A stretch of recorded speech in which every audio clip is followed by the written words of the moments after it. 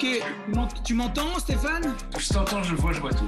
Stéphane, je suis bien content de te recevoir pour, euh, pour enfin, enfin, ton nouveau film là qui est en attente au purgatoire il y a un an, L'ennemi. Bonjour. Bonjour. Euh, je vois qui vous êtes en fait. Moi aussi, je vois qui vous êtes. Quelle attente ça a dû être mon point de vue par rapport à ça, c'est que tant que tu peux agir dessus, le film est la chose la plus importante au monde. L'infléchir, le bouger, le transformer, le, fabriquer. Quand je peux plus y toucher, j'ai cette capacité de mettre quelqu'un derrière moi. Donc Dieu soit loué, j'ai évidemment, euh, j'ai pas chômé entre temps, donc j'ai écrit un scénario qui est fini. J'en ai écrit un autre qui est quasiment fini. Ici, j'en reparle avec beaucoup de plaisir, mais je reparle quand même de quelque chose sur lequel j'ai du recul. Stéphane, j'aimerais qu'on te resitue un petit peu. Les gens te connaissent, tu es une figure publique, tu es un, journaliste qu'on voit parler de foot souvent à la RTBF. Tu es un cinéaste et un cinéphile, on se connaît depuis de nombreuses années. L'ennemi est un film particulier dans ton parcours parce que c'est un film qui est adapté aussi, comme Nos, d'un fait divers. Est-ce que tu pourrais me dire pourquoi tu t'es intéressé aux faits divers et à cette histoire tragique? Euh, L'ennemi est à l'affaire Bernard Westphal exactement ce que Nos est à l'affaire Sadiachek. Et ça m'intéressait justement d'être au plus près de l'intime d'un personnage, mais à propos duquel il reste un doute très longtemps sur la culpabilité réelle et sur les événements réels qui se sont passés. Je vous ai déjà vu plusieurs fois. Ma femme vient de se suicider. Je sais que. Je sais que vous êtes la femme de ma vie. Elle est morte. Donc c'est l'histoire d'un homme, d'un homme politique euh, très prometteur qui a été accusé euh, du meurtre de sa femme. On ne saura jamais euh, exactement ce qui s'est passé. Donc c'est un film sur le doute. Mon, souhait est relativement ambitieux, c'est de faire des films qui laissent le spectateur intelligent et libre. Aujourd'hui, plus que jamais, surtout sur ce type d'affaires, c'est la responsabilité du cinéma, justement, que de proposer une œuvre articulée qui respecte la complexité, parce que au temps des réseaux sociaux, c'est l'inverse. Et donc, plutôt que hashtag guilty ou hashtag not guilty, je pense que le cinéma, par les moyens qui sont les siens, l'image, le son et le temps, se doit de faire une proposition beaucoup plus riche, beaucoup plus articulée, qui effectivement renvoie le spectateur à ses propres convictions. Elle est où? Dans notre chambre. La 108. Mais dès la première fois, je savais que je vous aimais. Je vous aime. Comment tu en es arrivé à, aller chercher euh, Jérémy Régnier? Est-ce que c'est vraiment lui qui a cristallisé ton désir euh, d'incarnation? L'influence de Jérémy était absolue. J'ai un peu l'impression qu'on a fait le film à deux. Je dirais que la collaboration que j'ai avec Jérémy est ce que j'ai connu de plus élevé depuis que j'ai la chance de faire des films. D'abord, Jérémy le réalisateur. Comme il était là présent à tout, tout le temps, c'était riche parce qu'il proposait tout le temps. Il était dans une énergie de dingue, il était physiquement là tout le temps. Mais, et ça, c'est, je lui rendrai euh, hommage toute ma vie pour ça, quand la proposition ne plaît pas, on n'entrait jamais dans un discours contradictoire. Jamais. Donc, il suffisait que je lui dise non, ça ne m'intéresse pas. Jamais Jérémy disait oh, mais quand même pas du tout. Donc, si tu veux, j'avais tout le bon sans les inconvénients. Là. Et que c'est moi qui suis mort. Je voulais te dire que tout le monde. Tout le monde est avec toi. Et autre chose, et ça, c'est une grande obsession, c'est que je trouve que, moi qui suis un grand fan des acteurs américains, les acteurs américains sont très doués et ils travaillent comme des fous.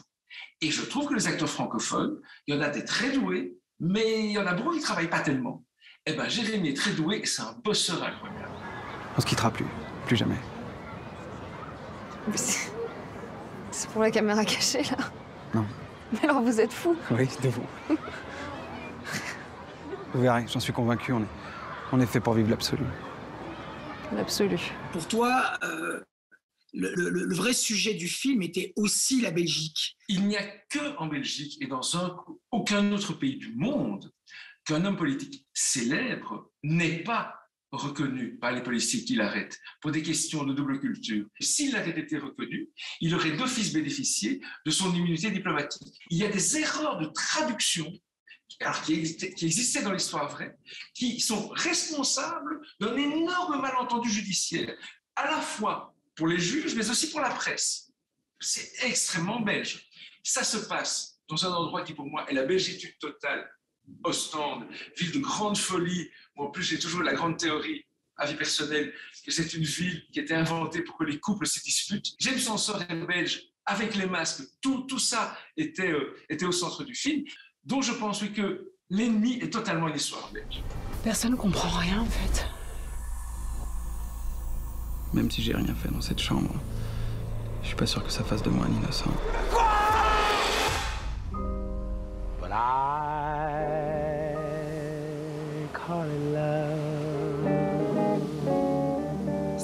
plaisir. Euh, je te souhaite vraiment le meilleur du monde pour cette sortie. Merci beaucoup pour tes films aussi, vraiment. Bon vent à toi. À très bientôt, Stéphane. À très vite. Ciao. Bon, je veux bien faire. euh, Je comprends pas pourquoi je suis dans ta bande-annonce, parce que j'ai que deux phrases dans ton film. La celle-là que tu viens de dire, ça fait trop. Dans les salles cette semaine, on prend la porte, l'apéro, la vie du bon côté. On marche, on se promène et puis on danse aussi. Pour célébrer l'amitié et le bonheur de partager. Adieu Paris. Des plats raffinés. Il n'y a plus de pain aux vinaigrettes Adieu Paris. Des gens qui s'aiment un peu, beaucoup. Il vient d'où ton pognon, toi Il vient d'où? Des gens qui savent se détester. Qui a été le plus lamentable cette année? Grande figure, grande gueule, vieux amis. Vieille brasserie parisienne. Édouard Baird vous invite à un dîner de cons mondains autour des trésors nationaux de la comédie française. Bonne ambiance Hein? Tu vois le dîner de con Oui. Eh ben c'est nous les cons. Chaud chaud le pot au feu. Qu'est-ce que vous foutez là Je voulais faire une expérience métaphysique, Euh, Je vais vous larguer comme ça en pleine nature mais y a pas de problème. Tout va bien. Je vous dérangerai plus. On ne naît pas homme, on le devient. C'est le message de Bernard Campan. Il lui faudra autre chose Ah, je sais pas. Presque, c'est le nouveau film qu'il signe avec Alexandre Jolien. Un buddy road movie tendre et émouvant qui rend hommage au vivre ensemble. To visit planet Earth, you'll have to be born as a human child. At first, you'll have to learn to use your new body, to move your arms and legs. You will learn to walk and run. Apprendre à parler, apprendre à vibrer, apprendre à aimer. Bref, apprendre à vivre sur Terre tout simplement. Joachim Phoenix interroge les enfants sur le futur de la planète.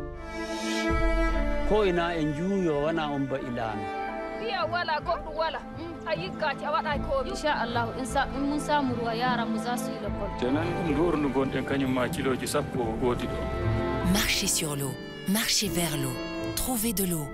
C'est le miracle quotidien qu'accomplissent des milliers de femmes nigérianes victimes du réchauffement climatique. Voilà, Home Cinéma, c'est déjà fini. Rendez-vous la semaine prochaine pour un nouvel opus de votre émission.